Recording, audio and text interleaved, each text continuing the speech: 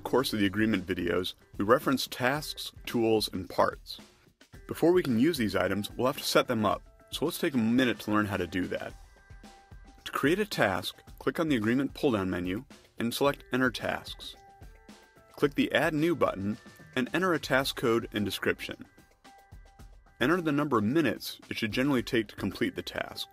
We can always change this when you apply it to an agreement to accommodate multiple systems or more complex situations. Using the full tasking description, we can enter information that will appear in the dispatch notes when this task is used. At this point, we can also enter any subtasks, parts, and tools you want to associate with this task. Subtasks can be used to break down a large task into smaller pieces. Each subtask must have previously been set up as a task to do this. Now please note that subtasks do not currently show on the mobile clients, so if you're using those or are planning to do so in the near future, use the long tasking description to enter this information instead. As a general rule, leave the Parts tab blank when creating tasks, as these will usually be different for each customer. We can always add the parts in later when assigning the task to the customer's agreement. Click Save when you're finished and the task is ready to use. Tools are created in much the same way. Go to the Agreement pull-down menu and select Enter Tools. Give the tool a name and a brief description. There is no need to enter commonly carried tools, just focus on the tools that the text don't normally stock.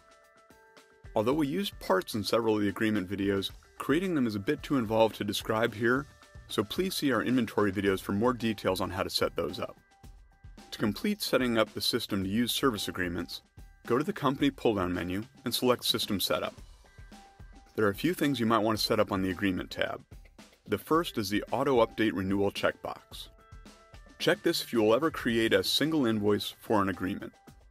Doing so will automatically update the agreement's expiration date when that invoice is paid in ESC. If you bill an agreement more than once a year or on the dispatch, this setting will have no effect and you will still have to update that expiration date manually.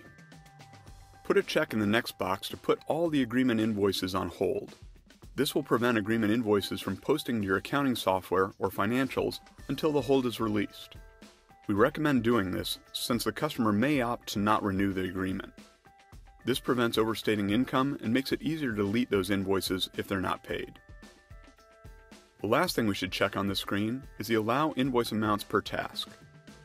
Do this if you are using the On Dispatch option on the Agreement Invoicing tab, and you need to bill the same customer different amounts on different visits. See the Advanced Agreement Invoicing video for more details on how this works. Feel free to change any of the other settings on this screen as well. It should be fine by default, but we can customize them if desired, such as selecting a new priority for all agreement dispatches so they are colored differently on the electronic dispatch board. That's all you need to do to ensure you're ready to create agreements. This concludes our agreement setup video. Thank you very much for watching.